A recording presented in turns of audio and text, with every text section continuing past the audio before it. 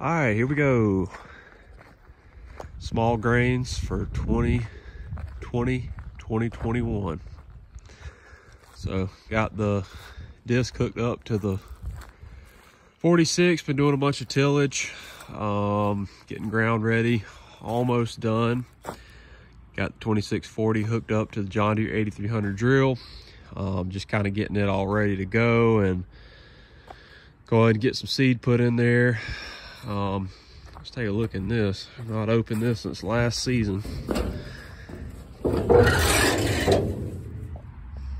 Uh, not too bad. See some rat droppings, some old oats. So yeah, it's not too bad. We'll get that blown out quick. Got a nice assortment of chicken crap, leaves, and straw up top.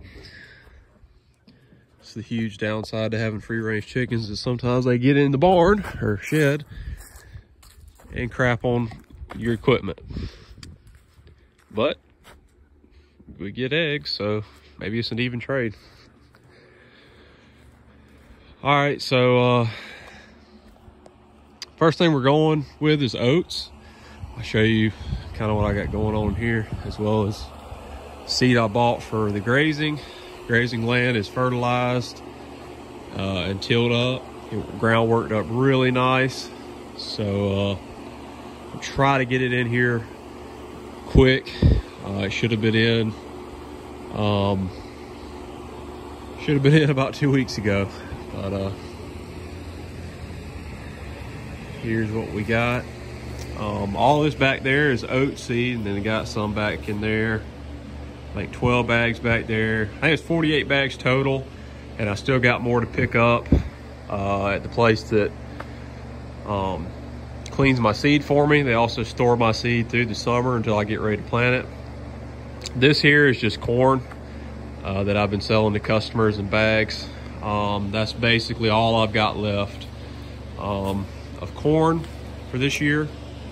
And here's what I bought for the grazing. So with it being so late, I wanted to go with uh, winter rye um, because you know it grows it grows better at cold in colder temps. So most of the season left is going to be a little cooler. If this would have been a little earlier like I had planned, I thought about going with the oats. But anyways, I went to search for some rye.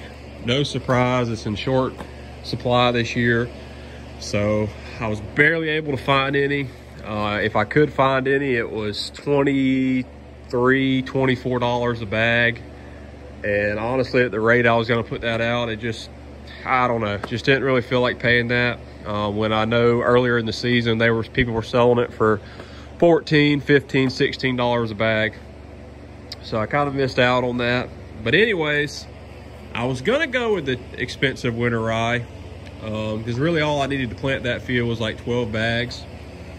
Um, but uh, the company that was looking for some rye for me, and they found some. It was like $23 a bag for a 50 pound bag. They found me some of this.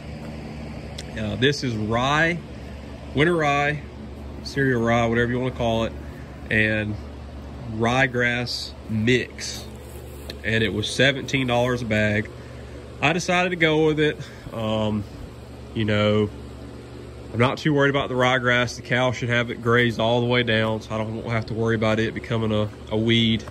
Um, so, um, yeah, hopefully hopefully this is the right decision. Um, I'm going into corn on this field next year. Um, so anyways, when I bought it, they said it was 6%. Let's come out here in the sun if I can. They told me it was 6% ryegrass. Yeah, I don't, uh, I think there's a little, that's a little bit of a stretch, but uh, they said the germination on both was really good. And anyways, I went with it. Looking back at it, I probably wouldn't have bought this um, because I actually had a friend call and told me he had some rye that looks like he wasn't going to be able to plant uh, for $16 a bag. So I don't know, this mixture will be good. Um, I'm actually planning on, once it gets up and going, if I have a couple of bags of oats left over, I may go out there with a little bit of um, um, uh, granular nitrogen and oats and kind of spread that in there. So it'll be a nice three species mix. Um, you know, the rye, ryegrass, and oats. So it should make really good grazing, winter grazing. Um, the plan right now, since I'm coming into that field with corn, is to start working the corn ground around mid-March or so, so that I have time to get my fertilizer and all that done. Um, so I'm gonna start grazing it around the first week of February. So that'll give me about, just about 45 days of grazing and graze it hard and um, hopefully this, this works out. Um, yeah, so anyways, um, I'm not sure what crop it's going to go into next fall.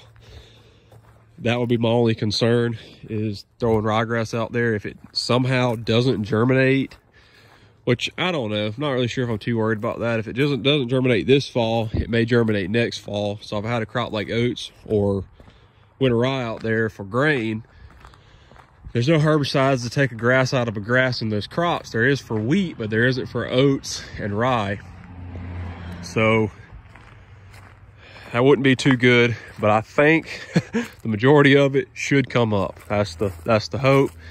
And I can also maybe do some deep tillage out there to kind of bury that seed for next fall if I think it's going to be an issue. But with the price of wheat, it's getting a little better. I've considered plant. I'm hoping to plant a few acres this fall, um, but with the with the price of wheat possibly going up, I might be able to throw some wheat out there and be able to control ryegrass. But there's the field right there. Uh, man, it disc up really good. So anyways, I had a, a lot of cool comments, a lot of good comments on my last video on the uh, pecans. Um, so just kind of wanted to show what I've been doing. I've picked out two tarps right now. I really, I've just been maybe like an hour a day, just, and I've only been picking out pecans for probably three days now. So I've got this plus a couple more like full sacks full.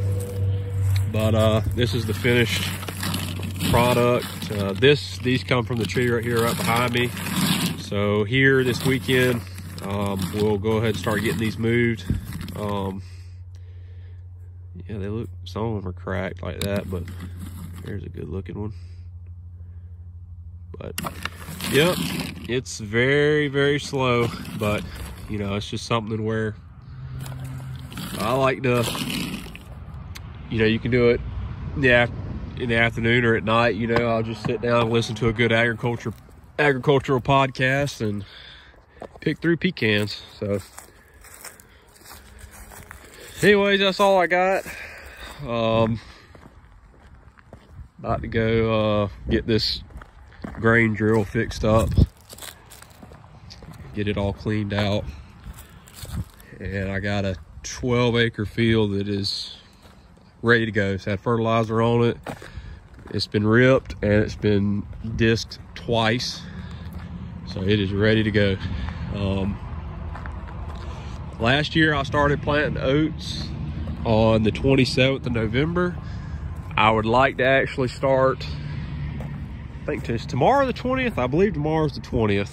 Um, I'd like to be able to start um, about, you know, seven days earlier than last year. Every year I keep, every year I plant oats, I keep getting earlier and earlier and earlier, which I think is going to be crucial for, for big yields, obviously, but um, I've made profitable oats planting all the way out to January 15th. So as long as, in my opinion, as long as you can get them in before Christmas and you're still going to have, you know, you, until January 15th to still be able to have a chance at making a profitable crop. But it does, the probability of that does start to go down after Christmas. But I've made some really good oats planting a couple of days before Christmas. But um, I'd like to, you know, like I say, I'd like to put some oats in tomorrow.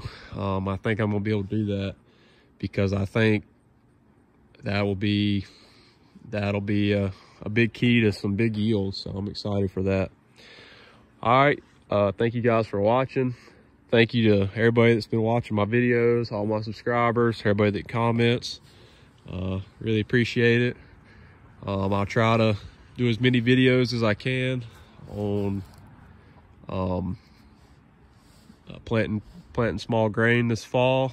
Um, I've showed a lot of this on the channel before, so um, I'll try to make some different type of videos than kind of what what uh, I've been doing in the past couple years for planting. So hopefully some action shots and um, just kind of explaining more of the the process and kind of what I do um, on growing oats. So thanks guys.